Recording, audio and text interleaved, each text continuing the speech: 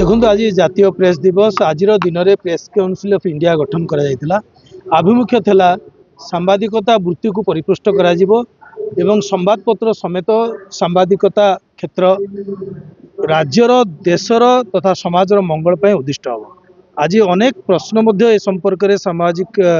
সংগঠন পক্ষ বুদ্ধিজীবী মান পক্ষ আসুচি যে যেভাবে সাংবাদিকতার আশা করা যাই প্রেস কাউন্সিল অফ ইন্ডিয়া গঠন করা যাই কোণ সেইভাবে সাংবাদিকতা ଆଜି ଅଛି କିନ୍ତୁ ଆର ସିଧାସଳଖ ଉତ୍ତର ହୋଇପାରେ ଆଜି ମଧ୍ୟ ସମାଜର ବିକାଶ ପାଇଁ ସ୍ଥାନୀୟ ଅଞ୍ଚଳର ବିକାଶ ପାଇଁ ସାମ୍ବାଦିକ ଏବଂ ସମ୍ବାଦପତ୍ରର ଭୂମିକା ଅନସ୍ୱୀକାର୍ଯ୍ୟ ତା ସହିତ ଯଦି ବି କିଛି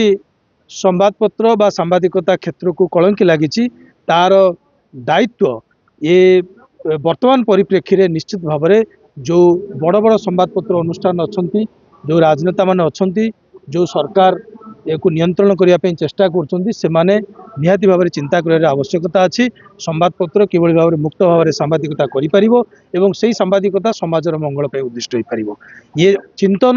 ଆଜିର ଦିନରେ କେବଳ ସାମ୍ବାଦିକମାନଙ୍କ ପାଇଁ ନୁହେଁ ବୁଦ୍ଧିଜୀବୀମାନଙ୍କ ପାଇଁ ସମାଜ ପାଇଁ এবং সংবাদপত্র অনুষ্ঠান পাই মানে পাই তথা সরকার পাই মধ্যে আমি গত ফেব্রুয়ারি সাত তারিখ দিন ଲୋୟର ପିଏମ୍ଜି ଠାରେ ଦୁଇ ହଜାର ସାମ୍ବାଦିକକୁ ନେଇ ଏକ ସମାବେଶ କରିଥିଲୁ ଯେଉଁଥିରେ ଆମର ଦାବି ଥିଲା ସାମ୍ବାଦିକ ସୁରକ୍ଷା ଆଇନ ଏବଂ ସାମ୍ବାଦିକମାନଙ୍କୁ ଭତ୍ତା ପ୍ରଦାନ ଭାରତବର୍ଷର ସତରଟି ରାଜ୍ୟ ସାମ୍ବାଦିକମାନଙ୍କୁ ପାଞ୍ଚ ହଜାରରୁ ପଚିଶ ହଜାର ପର୍ଯ୍ୟନ୍ତ ଭତ୍ତା ଦେଉଛନ୍ତି କିନ୍ତୁ ଓଡ଼ିଶା ଏ କ୍ଷେତ୍ରରେ ଦେଉନାହିଁ ଓଡ଼ିଶାରେ ଆମେ ରାଜସ୍ୱ ବଳକା ରାଜ୍ୟ ବୋଲି ବିଭିନ୍ନ ସମୟରେ ତତ୍କାଳୀନ ସରକାର କହୁଥିଲେ ଆଜିର ସରକାର ମଧ୍ୟ କ୍ଷମତାକୁ ଆସିଲା ପରେ ଅନ୍ୟାନ୍ୟ ବିଭିନ୍ନ ବର୍ଗଙ୍କ ପାଇଁ ଜନହିତକର କାର୍ଯ୍ୟମାନ କରୁଛନ୍ତି ଯାହା ପାଇଁ ବଜେଟ୍ ଲାଗୁଛି ତ ସାମ୍ବାଦିକ ଯଦି ଯେଉଁ ଆଠ ଦଶ ହଜାର ସାମ୍ବାଦିକ ଆମର ସାମ୍ବାଦିକ ସୁରକ୍ଷା ଆଇନରେ ଅଛନ୍ତି ବା ସାମ୍ବାଦିକ ବୀମାରେ ଯୋଜନାରେ ଅନ୍ତର୍ଭୁକ୍ତ ଅଛନ୍ତି ସେଇମାନଙ୍କୁ ଦଶ ହଜାର ଟଙ୍କାର ଅନ୍ୟୁନ ସାମ୍ବାଦିକ ଭତ୍ତା ଦେବା ପାଇଁ ସରକାର ପାଇଁ ଦାବି ରଖୁଛୁ ଆମେ ନିଶ୍ଚିତ ଭାବରେ ଖୁସି ହେବୁ ଯେ ଆମେ ଯେଉଁ ଫେବୃଆରୀ ସାତ ତାରିଖରେ ଆନ୍ଦୋଳନ କରିଥିଲୁ ତତ୍କାଳୀନ ଯିଏ ଥିଲେ ବିଜେପି ଦଳର ମୁଖ୍ୟ ଛାଟିଆ ବିଧାନସଭାରେ ଯିଏ ଆଜି ମୁଖ୍ୟମନ୍ତ୍ରୀ ଅଛନ୍ତି ଶ୍ରୀଯୁକ୍ତ ମୋହନ ଚରଣ ମାଝୀ ସିଏ ଆମ ସଭାସ୍ଥଳକୁ ଆସିଥିଲେ ଏବଂ ସମର୍ଥନ ଜ୍ଞାପନ କରିଥିଲେ ଆମ ଦାବି ପ୍ରତି ଯେ ସାମ୍ବାଦିକ ସୁରକ୍ଷା ଆଇନ ଏବଂ ସମ୍ବାଦ ସାମ୍ବାଦିକମାନଙ୍କୁ ଅନ୍ୟୁନ ଦଶ ହଜାରର ଭତ୍ତା ଦେବାର ଆବଶ୍ୟକତା ଅଛି ଆଜି ଯେହେତୁ ସେ ମୁଖ୍ୟମନ୍ତ୍ରୀ ଅଛନ୍ତି ମୁଁ ପୁଣି ଥରେ ଏଇ ମିଡ଼ିଆ ଜ୍ୱରରେ ମାନ୍ୟବର ମୁଖ୍ୟମନ୍ତ୍ରୀଙ୍କୁ ମନେ ପକାଇ ଦେବାକୁ ଚାହିଁବି ପ୍ରତିଶ୍ରୁତି ପୂରଣ କରନ୍ତୁ ସାମ୍ବାଦିକମାନେ ଅନ୍ୟାନ୍ୟ ରାଜ୍ୟ ଭଳି ଏଠି ମଧ୍ୟ ଭତ୍ତା ପାଆନ୍ତୁ ଏବଂ ସାମ୍ବାଦିକ ସୁରକ୍ଷା ପାଆନ୍ତୁ ପ୍ରେସ୍ ଦିବସ ଅବସରରେ ଚାରିଶହ ସାମ୍ବାଦିକ ସଂଘ ତରଫରୁ ଆୟୋଜିତ ଯେଉଁ କାର୍ଯ୍ୟକ୍ରମ ହୋଇଥିଲା ଅତ୍ୟନ୍ତ ସୁନ୍ଦର ଥିଲା ଚିତ୍ତାକର୍ଷକ ଥିଲା ଗ୍ରାମାଞ୍ଚଳର ଅନେକ ସାମ୍ବାଦିକ ଯେଉଁମାନେ କାକଟପୁର କୋଣାର୍କ ସ୍ତରଙ୍ଗ ନିମାପଡ଼ା ଅଞ୍ଚଳର ଅନେକ ସାମ୍ବାଦିକ ବଲଙ୍ଗା ଅଞ୍ଚଳର ଅନେକ ସାମ୍ବାଦିକଙ୍କୁ ମଧ୍ୟ ସମ୍ବୋଧିତ କରିଛନ୍ତି